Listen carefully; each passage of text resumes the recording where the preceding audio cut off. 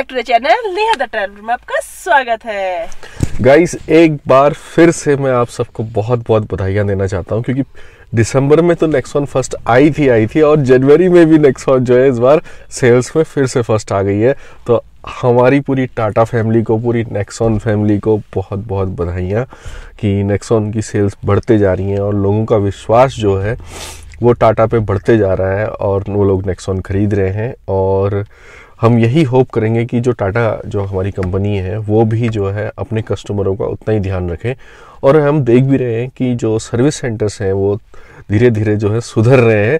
लेकिन कहीं मतलब सब जगह से ऐसा नहीं हो रहा है। कई जगह से बहुत ज़्यादा कंप्लेंट्स भी आ रही हैं अभी भी।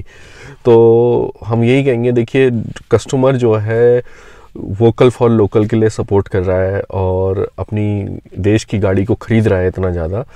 तो जितने भी सर्विस सेंटर वाले हैं और वो लोग हैं, उनसे भी हमारी ये गुजारिश है कि भैया आप अपनी सर्विस को तो ठीक कीजिए और जो कस्टमर जो चाह रहे हैं, जैसी सर्विस वो लोग चाह रहे हैं, वैसी सर्विस उनको प्रोवाइड कीजिए, ताकि हमारी नेक्सॉन का फिर कोई भी तोड़ ना हो। तोड़ ना हो कोई मुकाबला ना हो और बिल्कुल ताबड़तोड़ बिके गाड़ियाँ और जो है लोगों का विश्वास उस पर बढ़ता जाए तो सर्विस सेंटर वालों थोड़ा सुधर जाओ भैया। पहली बात तो आज की ये थी। और दूसरी बात मैं स्टार्ट करता हूँ और स्टार्ट करने से पहले क्या करना है आपको? Like subscribe and share share करना है। जी सपोज़ आपको रास्ते में कोई पुलिस वाला रोक देता है जैसे कि हम गोवा ट्रिप में गए तो हमें दो बार पुलिस वालों ने रोका। और दोनों बार उन्होंने हमसे कागज़ मांगे या उन्होंने हमसे लाइसेंस मांगा तो मैंने कुछ नहीं करा। मैंने अपने पर्स में मेरे पास ओरिजिनल लाइसेंस था, मैंने वो नहीं निकाला। ठीक है? मैंने जो है एम परिवहन में अपना लाइसेंस अपनी आरसी रखी हुई है, मैंने वो उनको दिखाया।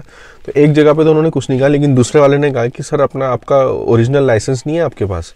तो मैंने उनको यही बोला, मैंने कहा, सर, ये ओरिजिनल से भी ज़्यादा ऑथेंटिकेटेड है। ये गवर्नमेंट का लाइसेंस है गवर्नमेंट की साइट है गवर्नमेंट की ऐप है। वहाँ पर को अगर ये लाइसेंस मेरा शो कर रहा है और उसकी वैलिडिटी भी शो कर रहा है रजिस्ट्रेशन शो कर रहा है इसका मतलब है कि मेरी गाड़ी के जो कागज़ हैं वो अप टू डेट हैं बिल्कुल। आपको मैं जे वाला दे सकता हूँ लेकिन उसमें प्रिंटिंग में और उसमें जो है उसकी कॉपी बन सकती है आराम से। नकली भी बन सकता है वो जो कार्ड होता है आपका ना। काफ़ी हैं। काफ़ी आपको पता ही है इंडिया में क्या क्या काम होते हैं। पासपोर्ट तक नकली बन जाते हैं तो भैया मतलब ड्राइविंग लाइसेंस नकली बनने में क्या है? यही बात मैंने उनको बोली।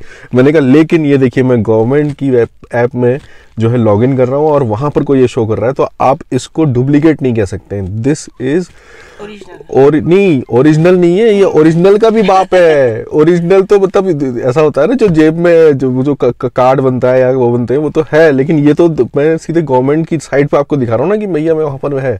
और आप ये नहीं कह सकते हैं कि ये डुप्लीकेट है या इसको मैं नहीं मानूँगा। ठीक है? ये जो है हमारे मोटर व्हीकल एक्ट में भी आ गया अब एक्ट का नाम मैं तो नहीं बता बता सकता हूँ अभी इस टाइम पे आपको कि तो नंबर क्या है। बट जो है ये बिल्कुल पास हो चुका है। आप बेझिझक अपनी गाड़ी पे अपने मोबाइल पे अपनी ऐप डाउनलोड कीजिए उस पर अपने आरसी अपना Documents हाँ। रखिए रखिए। और डिजी लॉकर पर आप अपना इंश्योरेंस भी रख सकते हैं। तो गाड़ी पे आपको सिर्फ़ क्या रखना है पॉल्यूशन और पॉल्यूशन तो ले भी ले तो कोई फ़र्क नहीं पड़ता, उसकी फ़ोटो खींच के रखो, फिर प्रिंट आउट निकाल। लो ठीक है तो पॉल्यूशन अपना रखिए डिजी लॉकर पे अपना इंश्योरेंस रखिए, और एम परिवहन में अपना ड्राइविंग लाइसेंस और आरसी रखिए, और ओरिजिनल भी रखिए, लेकिन वो पुलिस वालों को कतई ना दें। पुलिस वालों को वो देना ही नहीं है, भाई साहब, आपने। ये आप समझ लो, ठीक है? तो गाइस यहाँ पर को जो है, आप समझे होंगे कि आपको क्या करना है, पुलिस वालों के साथ चलना है तो लॉन्ग रूट पे चलना है तो पुलिस वालों के साथ क्या करना है। और आपको कोई दिक्कत नहीं आएगी अपने लॉन्ग रूट पे। यही आपकी प्रॉब्लम्स होती हैं जो फेस करनी पड़ती हैं हमें जिनमें हाँ हाँ। लोकल में तो ज़्यादा कोई पूछता नहीं है। हम्म हम्म पर बाहर की गाड़ी को देखता है तब ज़्यादा yes yes yes long drive पे जाते हैं ना तो ये आपको प्रॉब्लम कर सकती हैं। जैसे कि सपोज़ आपके पास आपकी दूसरी चाबी नहीं है और एक चाबी आप लेके चलने और वो कहीं खो जाए या किसी रेस्टोरेंट में छूट जाए उसके बाद वो ना मिले आप आए अपनी गाड़ी में, अरे जेब में तो चाबी नहीं है भाई, वापस गए, वहाँ भी ना मिले, टॉयलेट में गिर जाए, कुछ जाए।